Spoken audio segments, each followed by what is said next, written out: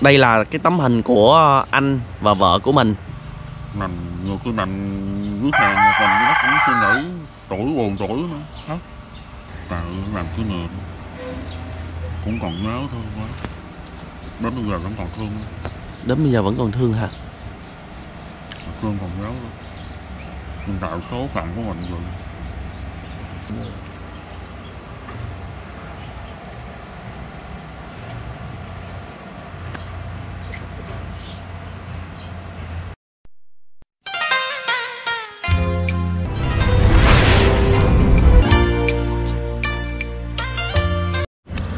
À, dạ Bùi Hồ xin chào cô bác quý anh chị ạ. Theo hành trình của Bùi Hồ hôm nay Bùi Hồ có mặt tại huyện Phú Tân của tỉnh An Giang. À, Bùi Hồ tìm đến đây để tìm về hoàn cảnh của anh Mến à, sống một trong cái ngôi nhà như thế này và trước à, đó là cái ngôi à, mộ của ba anh. Thì à, cuộc đời của anh Mến thì à, trước đây anh cũng có một gia đình à, gồm có vợ và ba mẹ mình nhưng sau một thời gian lâm bệnh thì gương mặt của anh này bị biến dạng à, một cách lạ thường và Bùi Hồ cảm thấy rất là băn khoăn về cái điều này nên ờ, có đến đây để tìm ờ, gặp anh Mến để tìm hiểu về cái câu chuyện thực hư năm xưa như thế nào để ờ, đã gây cho anh ra một cái chứng bệnh như ngày hôm nay. Và cái trạng thái tâm tinh thần của anh như thế nào nha cô bác quý anh chị? À, em chào anh. Dạ em chào anh Mến. Thì uh, qua được một số thông tin của các bạn đó thì à, em tìm à, đến anh. Và đây là cái ngôi nhà của mình đúng không anh? Dạ. hiện nay thì à, trong cái ngôi nhà là ai với ai sinh sống hay anh ha? Còn ờ, anh với mẹ thôi À, anh với mẹ. À, anh Bến ơi thì à, à, anh cho em hỏi là năm nay anh đã bao nhiêu tuổi rồi? Con năm tuổi rồi. 35 tuổi. Cái về em thấy cái gương mặt của mình đó ờ, so với người khác thì nó bị dị dạng là à, bị như thế này lâu chưa? Từ nhỏ hay là từ nhỏ lúc mới sinh ra hay là sau này anh sao nào có gạo rồi tự nhiên nó phát bệnh lên luôn. Là mình lúc nào cũng được mỗi năm rồi mình có vợ rồi mình ờ, phát bệnh lên luôn. Cái việc ờ, ăn uống của mình nó dễ dàng không? Nó mà khó khăn ăn uống là phải có đồ gạo lên cái thân á gạo lên thân nó đổ anh năm nay bao nhiêu tuổi? 35 tuổi. 35 tuổi. Vậy thì anh có vợ lúc bao nhiêu tuổi? 20 tuổi. 20 tuổi. Là là bao nhiêu lâu thì sau khi có vợ bao lâu thì mình mới phát bệnh rồi có gạo đâu sống gạo cũng được năm nắng rồi đó rồi có phát bệnh. Lúc đó thì bác sĩ mình có đi bác sĩ không? Mà lúc ờ, lúc ờ, ít đó thì được có bác sĩ đi sài gòn đó dạ. À, rồi nó cũng nói là khói ô xương lúc đó nó chưa có như gì dạ. Nó chỉ nói có bên đây thôi dạ. Bác sĩ nói là khói ô xương rồi đi bác sĩ hòa mà hết tiền hết bạc rồi về kiếm thuốc men. Với thằng này thì kia đó uống thuốc rồi mà nó cũng không hết nó còn nó còn phát bụi qua rồi ờ, sao tự nhiên nó lại chạy sệ lúc trước khối u thì nó bự rồi nhưng mà tại sao bây giờ nó lại chạy sệ như vậy? Tại vì à, lúc trước thì nó sung bụi nhưng mà đâu có thấy đường đâu. Hoặc là nó không bụi gì nữa nó hít mắt lên nó thấy đường đi đâu. Rồi à, cũng có coi như ông thầy đó đoạn thầy ở với kiên giang qua hòn á.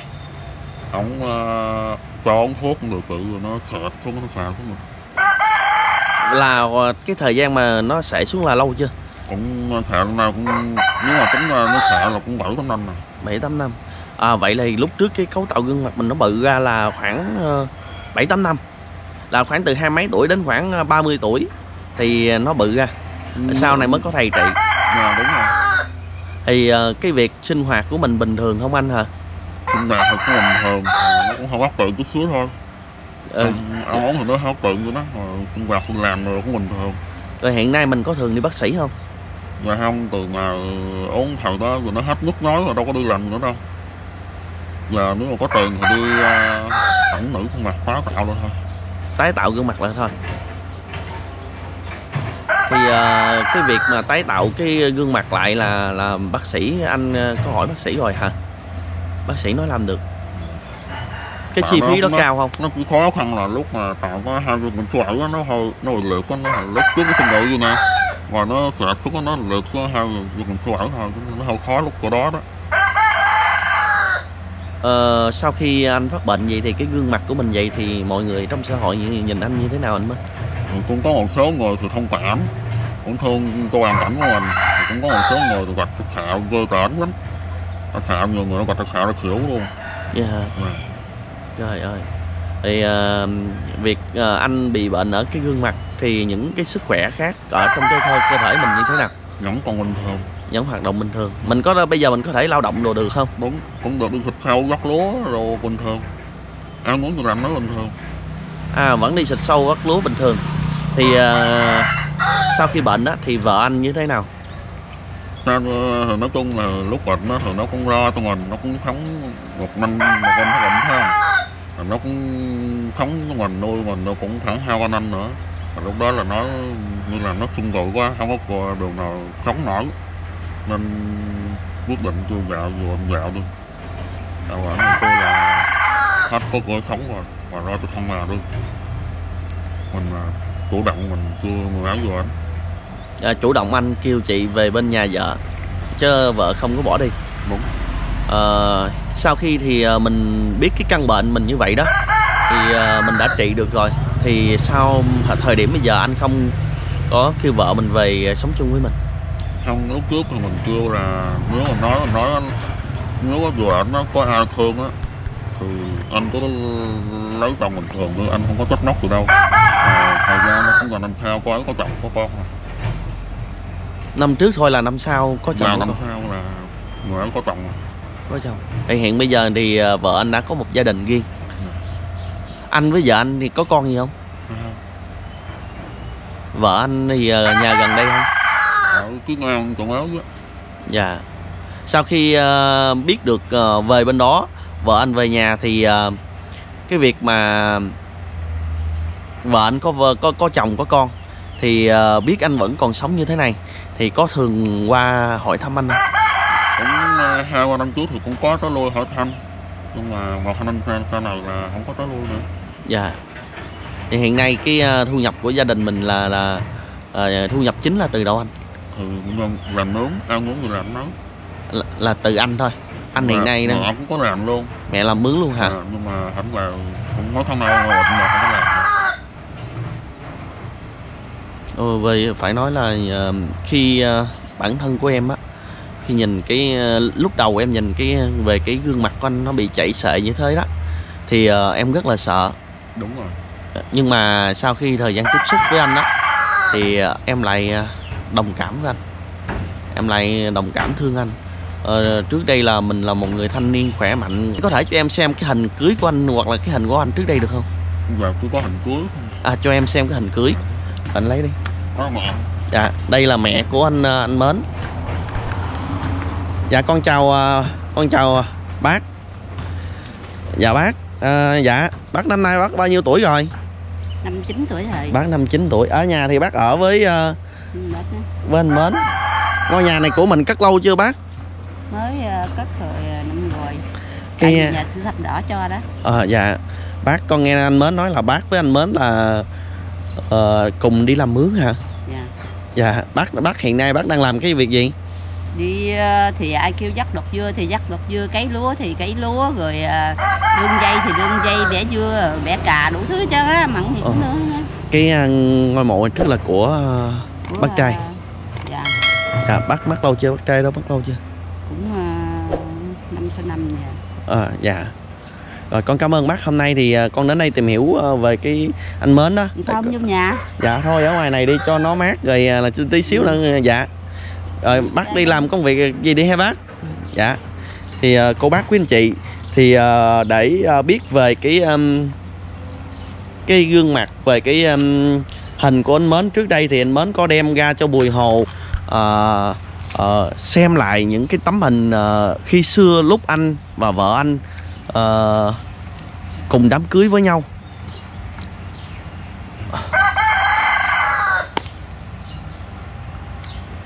đây là cái tấm hình của anh và vợ của mình. À, à thời điểm này là anh à, lúc đó nó hai 18 tuổi. hai mươi tuổi. 20 tuổi. Có vợ hai mươi tuổi. Nhìn một cái gương mặt thanh niên rất là đẹp trai luôn. À, đây là ở anh à, trong hình khi mà anh đám đám cưới. Và trước mặt bạn đó là anh mến người mà trong hình này. Ờ, cả, nhà có tin rằng anh ờ, sau một thời gian cưới vợ thì anh lại phát lên một cái căn bệnh như thế. Phải nói là rất là đẹp đôi luôn. Mà gương mặt của anh mến thì rất là đẹp trai ha bác ha? Ừ, thì nó hồi đó nó đẹp rồi. Dạ. À, anh mến sau khi mà ờ, bị cái căn bệnh gương mặt của mình nó lại bị biến dạng như vậy ờ, so với trước đây thì ờ, vào mỗi, mỗi buổi tối anh có buồn cho cái số phận của mình nhiều lắm không? Quá buồn số hàng lắm cơ nhiều khi cũng tiêu, suy nghĩ tiêu cực nữa. Dạ. Tại vì tuổi đó Dạ. Ta từ từ đó bình thường mình thì có ngày ở nhà mà không có mặt như vậy đó tuổi nhiều cái lúc khóc đó cậu chuyện mến nha. Dạ. Nhiều lúc khóc luôn. Khóc nằm trên chiếc bàn hiện bây giờ còn không hay là trước đây? Còn luôn. Nằm nhiều cái nằm sàn mà mình nó cũng suy nghĩ tuổi buồn tuổi nữa khóc nói sao có số mình kỳ quá không biết. Đây nè cô bác của anh chị. Anh rất là đẹp trai luôn. Là một thanh niên khỏe mạnh của một gia đình vợ con. Tương lai thì ờ, mình nghĩ thì ờ, lúc không phát bệnh như thế này thì tương lai có thể là nó mình sẽ làm ăn khấm khá hơn. Rồi có con rồi có một mái ấm. Nhưng sau một biến cố ập đến đối với anh thì tất cả mọi thứ Còn nó nó không còn gì nữa mà anh bây giờ coi như là sống để mà lo cho mẹ già của mình thôi. Tại vì ba cũng đã ờ, không. ba cũng đã mất đi năm sáu năm nay. Ờ, đây là hình của anh nè cô bác của anh chị. Anh có tài khoản ngân hàng gì không anh mến Mình nó qua đâu có chuyện đó đâu. Ừ. lúc trước thì anh học đến lớp mấy thì anh nhảy? À anh chỉ còn sót lại hai tấm hình này rồi thôi hay sao? Chỉ có lòng nó như có hình đó là nó gõ mình nó màu. À, cho em mượn thôi xem với. Đây là tất cả hình của vợ anh đây hả tại sao à, anh lại cất ờ, kỹ hình của vợ mình trước đây như vậy? Tại làm cái nghề cũng còn nhớ thôi quá. Đến bây giờ vẫn còn thương. Đến bây giờ vẫn còn thương hả? Thương còn nhớ hiện tại số phận của mình rồi. Đây là người vợ của anh nè cô bác của anh chị. Ờ, theo những cái người à, bình thường thì à, khi mà gặp vợ mình có một cái gia đình khác thì những cái tấm hình chụp chung thì có thể làm kỷ niệm. Còn những cái tấm hình mà chụp riêng đó thì người ta ít lưu giữ lại. Nhưng mà trong cái trong cái lòng của anh anh vẫn còn nhớ đến vợ của mình.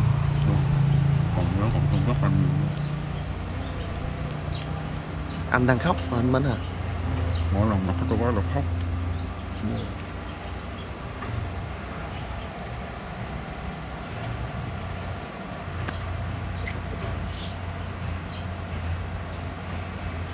anh có muốn nói là gì với mọi người không? Em chỉ mong muốn các mạnh thường quân với các nhà hậu đánh. Ủng hộ anh mình chia sẻ nhiều người cho anh. Một một ngày nào có sĩ nào đó giúp đỡ cho anh tái tạo khuôn mặt lại cho anh mình lúc nào không là hỏi anh buồn khổ lắm. Tại vì cái quãng đời anh còn rất là dài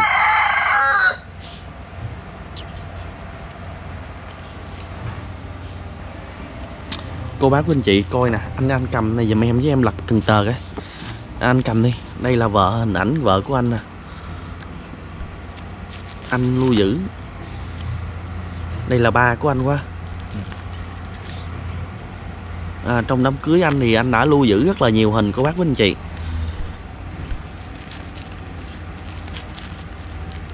Hình này đã mười à, đã mười mấy năm rồi anh à. Ừ. năm dạ anh cầm mấy tấm này giùm em á.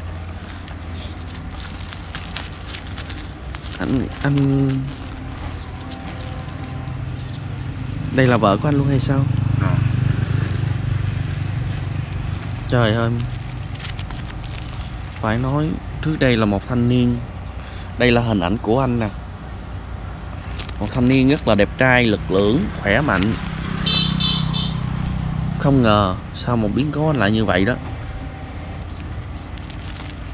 trời coi mà không khỏi xót xa.